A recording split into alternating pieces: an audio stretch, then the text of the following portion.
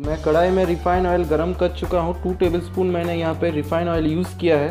अब मैं इसमें दूँगा तेज पत्ता और लौंग। इसको देने के बाद फ्लेम आप हाई कर दीजिए। इसको अच्छी तरह से मिक्स कीजिए। फ्राई कीजिए इसको।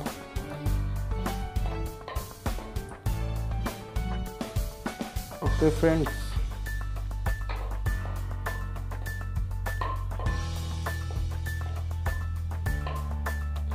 इसको अच्छी तरह से फ्राई कीजिए। टू टेबल स्पून मैंने यहाँ पे ऑयल यूज़ किया है रिफाइन ऑयल अब मैं दूँगा इसमें जो है कटा हुआ प्याज छोटा छोटा कटा हुआ प्याज, बारीक पीसा कटा हुआ प्याज। मैंने चॉप कर लिया है प्याज को बड़े ही आराम से, जैसा कि आप देख सकते हैं। मीडियम फ्लेम में इसे पकाए। प्याज जब तक गोल्डन ब्राउन ना हो जाए, तब तक आपको इसे पकाना है। बस, आपको इसको गोल्डन ब्राउन ही करना है। अच्छी तरह से प्याज को पकाए। बहुत ही बारीकी से कटा हुआ प्याज है, ये आप देख सकते हैं।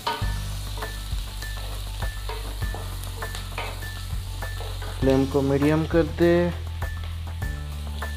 चलिए।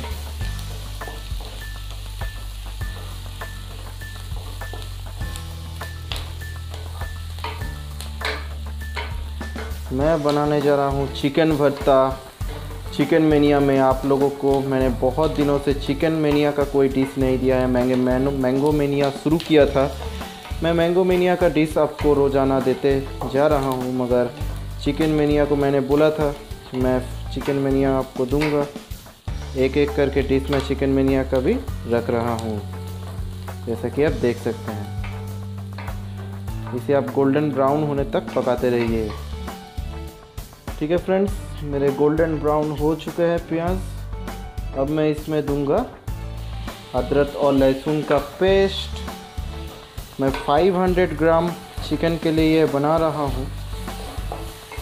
मैंने यहाँ पे दो लहसुन लिया था नॉर्मल साइज़ का। मीडियम छोटा से थोड़ा बड़ा मीडियम साइज़ ही पकड़ लीजिए। मीडियम फ्लेम में आप इसको पकाइए।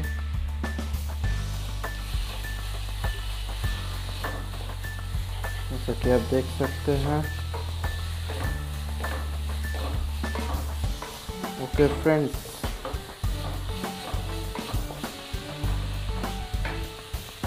तो थोड़ी देर पकने दीजिए। थोड़ा देर ये पक जाएगा। उसके बाद हम और इंग्रेडिएंट्स यूज़ करेंगे। हम बना रहे हैं चिकन भरता। आप लोगों का फेवरेट हमारा फेवरेट चिकन का न्यू डिश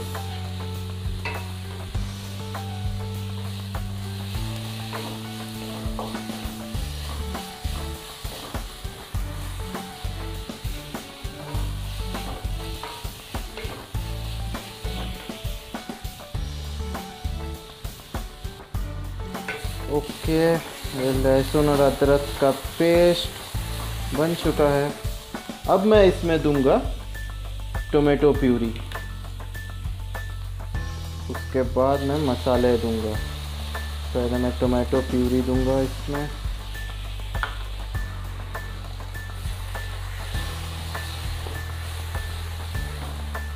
टोमेटो प्यूरी आप सब तो बनाना जानते ही हैं।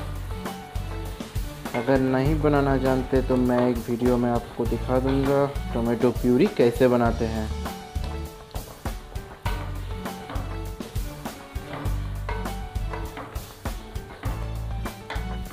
ओके फ्रेंड्स अब बारी है मसाले देने की।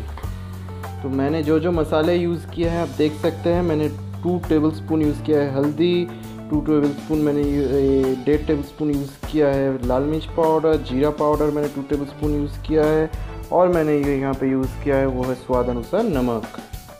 इसे अच्छी तरह से मिला ले।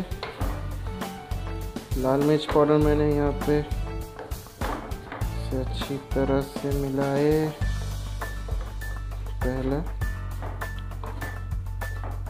मिला लेने के बाद आपको जो काम करना है मसालों को अच्छी तरह से मिला लीजिए। ओके? अब बारी है चिकन देने का। मैं लो फ्लेम पे रख दिया है इसको। अब मैंने चिकन को पहले ही बॉईल कर लिया है और छोटे छोटे पीसेस में से डिवाइड कर लिया है। जैसा कि आप देख सकते हैं। इसे छोटे छोटे पीसेस में डिवाइड के लिए मैंने बोनलेस चिकन लिया है। अब इसको अच्छी तरह से मिलाइए।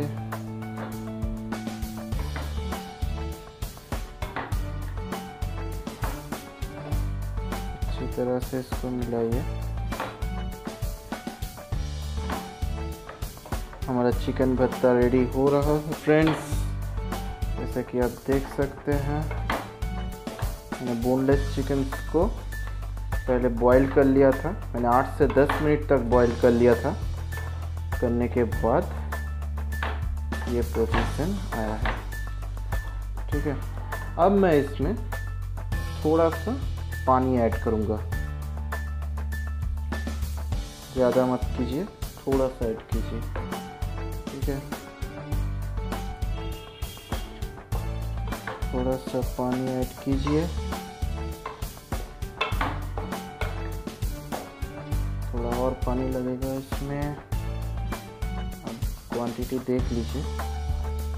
ओके मिक्स करते जाइए। 500 ग्राम चिकन है।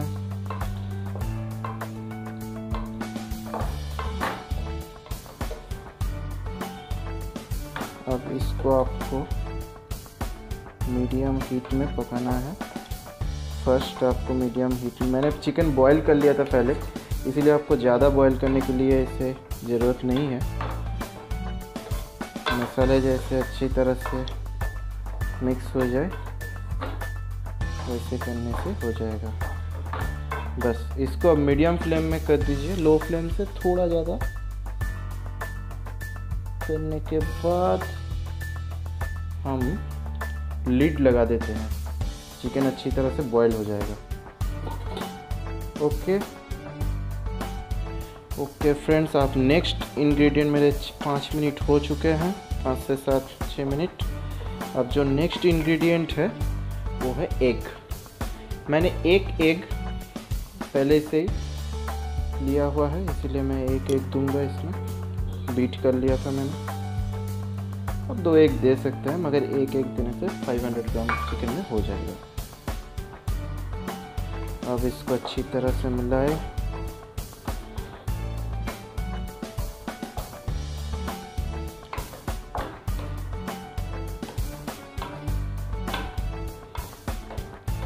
अच्छे तरह से मिलाना है आपको।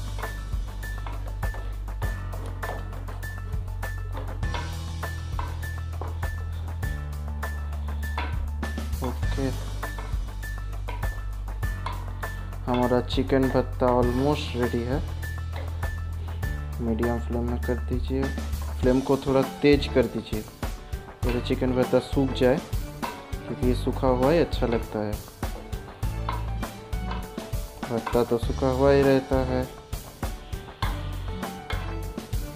दिखने में तो बहुत अच्छा लग रहा है फ्रेंड्स अब मैं जो दूँगा वो है गरम मसाला। गरम मसाला मैंने फ्रेश पीस लिया है। मिक्सर ग्राइंडर में, मैं उसे यूज़ करूँगा।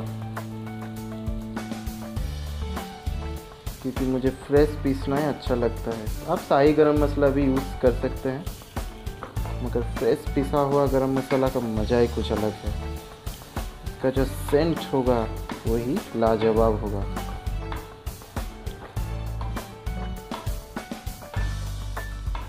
इसमें आप फ्रेश क्रीम यूज़ कर सकते हैं, अंत में।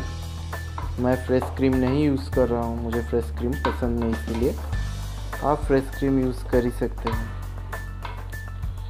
इसमें और टेस्ट आ जाएगा।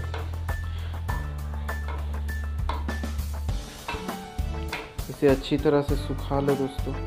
फ्लेम को तेज कर ले।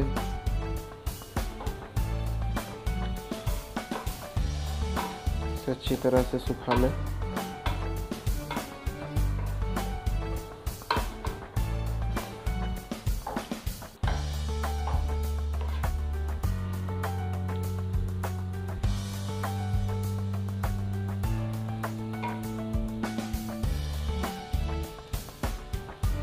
आप लीड को बंद करके रख सकते हैं दो मिनट के लिए, कोई दिक्कत नहीं। तो फ्रेंड्स मेरे चिकन भरता रेडी है। तो इस वीडियो को अगर आपने पसंद किया है तो लाइक करना ना भूलिएगा। और अभी तक आपने सब्सक्राइब नहीं के नहीं किया है तो प्लीज़ सब्सक्राइब कर दीजिए मेरे चैनल को, क्योंकि मैं रोज़ाना आपके लिए ऐसे वीडियो लेते आऊँगा न्यू न्यू डिशेस के। तो चिकन मिनिया में आज तक इतना ही दोस्तों। अब अगले हफ़्ते के लिए रेडी हो जाइए। मैं और एक चिकन का न्यू डिश ला रहा हूँ। तो थैंक यू दोस्तों, और इसे शेयर करना ना भूलिएगा इस वीडियो को। अपने दोस्तों के साथ शेयर कीजिए ट्विटर में फेसबुक में व्हाट्सएप में मैसेंजर में, और सबके साथ इसे शेयर कीजिए। तो थैंक यू फ्रेंड्स इसे देखने के लिए।